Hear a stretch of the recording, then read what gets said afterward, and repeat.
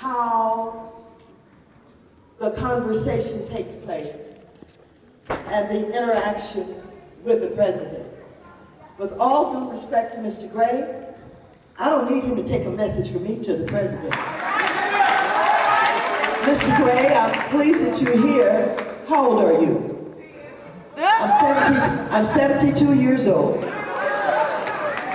I've been doing this a long time. I've been elected by the people, served in the legislature, now in the Congress. If I'm reduced to having you take my message to the president, I need to go home.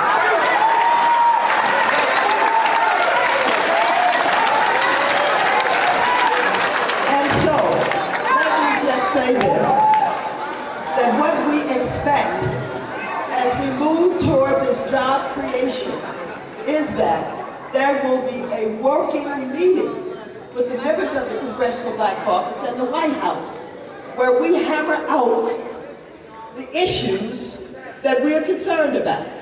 Why did you see Reverend Jackson, when he talked a few minutes ago, get moved to tears?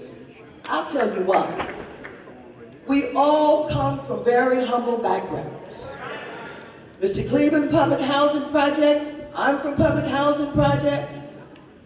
Bishop, when we would go to church on Sunday, my mother would take a. It was 13 of us, 12 brothers and sisters. My mother would start wailing and crying.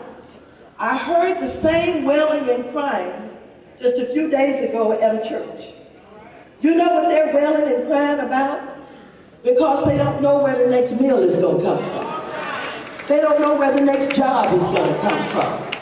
They don't know what to do about their son, who probably is going to get end up profiled by the police and get taken to jail. They don't know whether or not that kid who is just stupid enough to get involved with crack cocaine and get sentenced to long years is ever going to come home.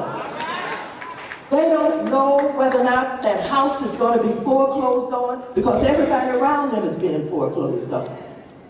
We